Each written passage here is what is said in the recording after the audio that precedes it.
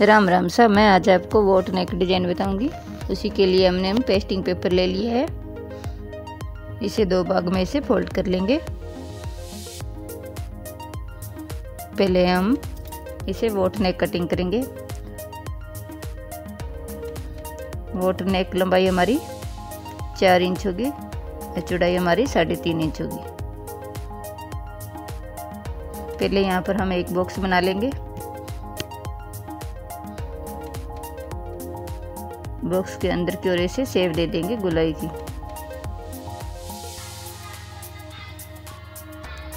यहाँ से नीचे से हम लंबाई पाँच इंच लेंगे। पाँच इंच की इसी तरह से सेव दे देंगे।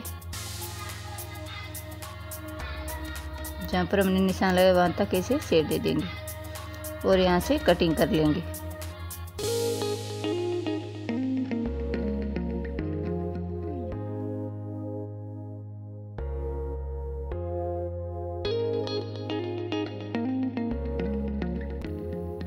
और हम नीचे से इसी तरह से गोल शेप में पेपर को ऐसे कटिंग कर देंगे।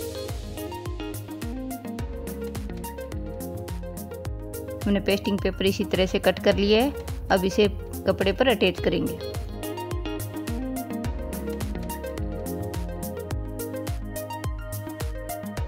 हमने कपड़े पर अटैच कर लिया है।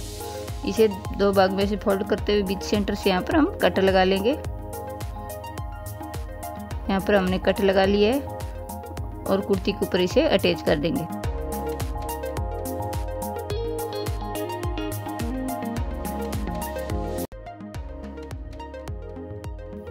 इसी तरह से अटैच करने के बाद हम अंदर का एक्स्ट्रा कपड़ा कट कर देंगे।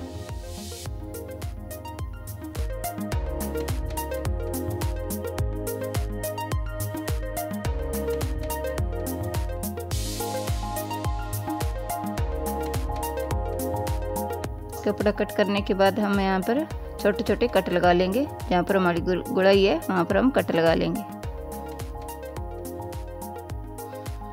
हमने कट लगा के हमने फोल्ड कर लिया है गला तैयार हो गया है। अब हम गोल्डन कलर का एक छोटा पीस लेंगे। इसी में से हम एक पैर की मार्जिन रखते हुए प्लेट डाल देंगे।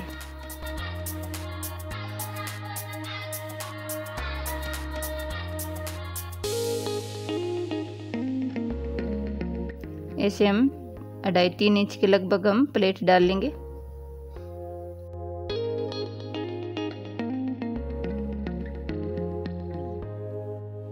इसी तरह से हमने यहाँ पर तीन इंच की दूरी तक हमने प्लेटें डाल ली है।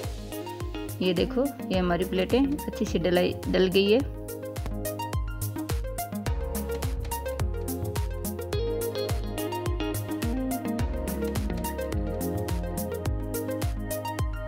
प्लेट वाला कपड़ा हम नीचे की ओर रखते हुए इसे इसे यहाँ पर अटैच कर देंगे। प्लेट हमारी बीच सेंटर में आनी चाहिए।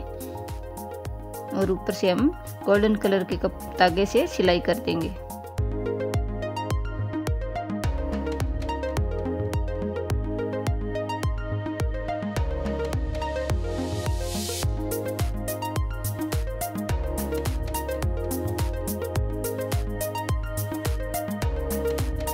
हमने सिलाई कर दी है। अब प्लेटों को हम ऊपर नीचे की ओर से इसे फोल्ड कर देंगे।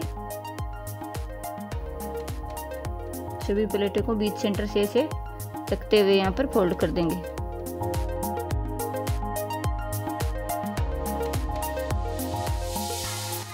ये देखो हमारी प्लेटें फोल्ड होगी है। इस तरह से हमारा लुक आएगा। अब हम गोल्डन कलर के तागे से यहाँ पर सिलाई दे लेंगे।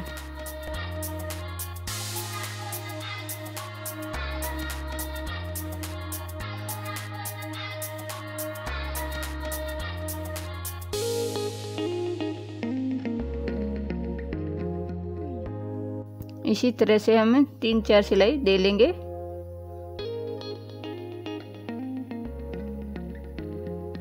हमने यहाँ पर चार सिलाई लगा ली है। इसी तरह का हमारा डिज़ाइन तैयार हो गया है। अब हम इसी शेप में यहाँ से कॉटन लेस लगाएँगे।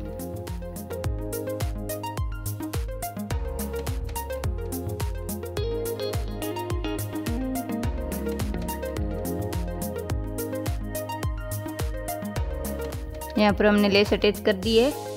यहाँ बीच सेंटर में, यहाँ पर गोल्डन कलर के दो बटन लगा लेंगे। ये हमारा इस तरह का डिज़ाइन तैयार हो गया है।